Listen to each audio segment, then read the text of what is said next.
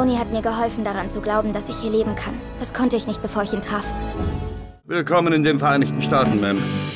Brooklyn ist eine berührende Geschichte. Würdest du mit mir tanzen?